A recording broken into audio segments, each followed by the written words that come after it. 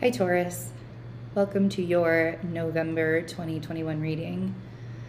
Um, first things first, somebody had mentioned about my deep, heavy breaths that I did in the last reading.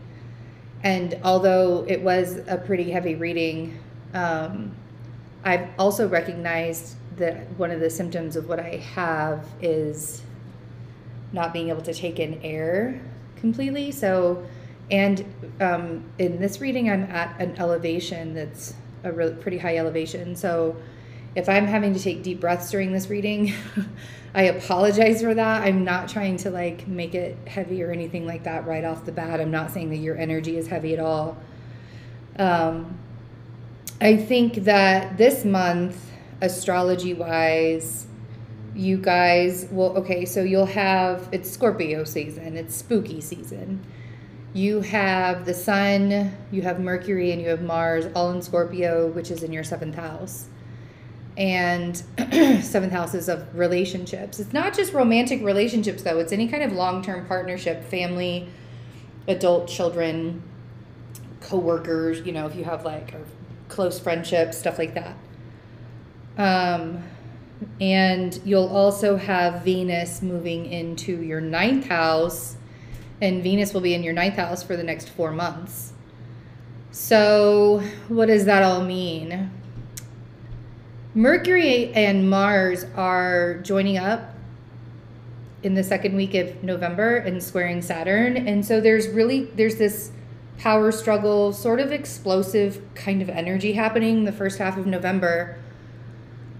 And because it's kind of it's affecting your seventh house, um, but we also have uh, your 10th house affected with Saturn squaring Saturn in Aquarius. And there's there's this need for you to learn how to create boundaries. So first of all, creating boundaries with yourself is always because the seventh house is how people reflect back to us who we are. And we attract people from our seventh house qualities. And and the, that can come with a lot of projections sometimes from you and from the outside coming in. And with Venus in your ninth house, you're sort of expanding your ideas and values, and it looks different than it used to you don't see the world in the same way that you used to. And your values for everything that's happening in your life during this time, um, that's all going to start shifting. And you're, you know, the, the ninth house really talks about the belief, our belief systems and expanding our knowledge and opening, you know, looking at the bigger picture and not something so boxed in. And I think that your value system, when it comes to love, when it comes to relationships, when it comes to anything, that is that's changing because your mind is opening up to so much more. And that's good. It's not easy, but it's really good. So, let's take a look at your cards.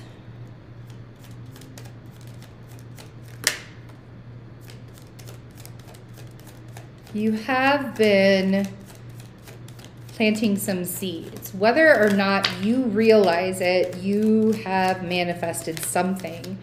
You are aware that you've manifested something, you have some, oh, you have some questions.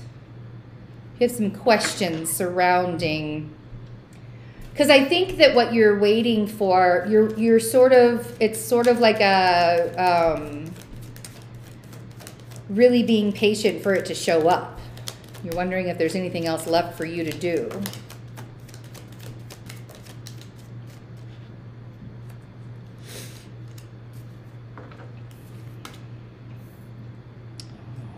One more card.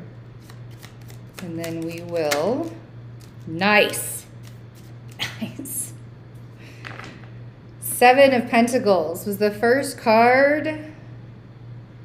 Then we have the Two of Pentacles. And then we have the Ace of Cups on the top row. On the bottom row, we have the World. And then we have the Nine of Cups. And this was the finale that I got all excited about, the Hierophant. So you showing up for your reading is always welcome. Always, always.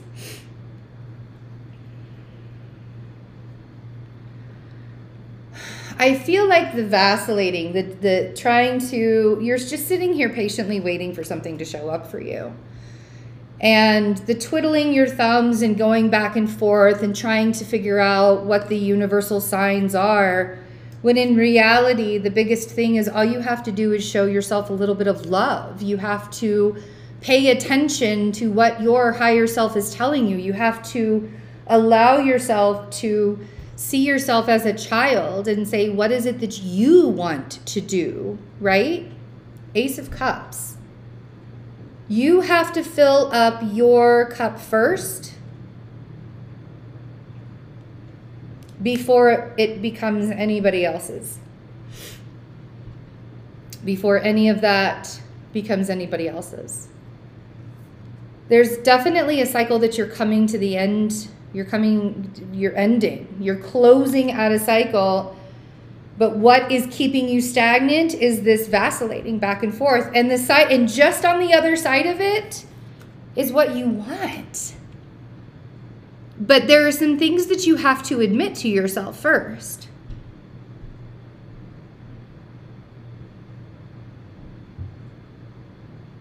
One of those things that you have to admit to yourself is that you've been waiting for the universe to show up for you when the universe has been there the entire time waiting for you to show up for yourself. Whole time. There aren't even any more signs that you need.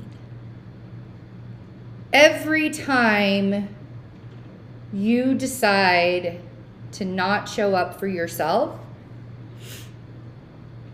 that's one more time that you have to repeat that same lesson. And that sucks. And like, right? Nope. Not today. Not doing that lesson again. That's not the thing. It's great to plant seeds. It's really great to manifest. But instead of sitting here and vacillating and waiting for whatever sign that you're waiting for while this seed is building and building and building, I really want you to turn your focus inward 100%. I want you to turn your focus inward. And I want you to figure out exactly what it is that you want in November because it is yours. What you want is going to be yours. There's a lot of cups back there. Be careful not to overindulge, to distract yourself from completing the cycle. Because there's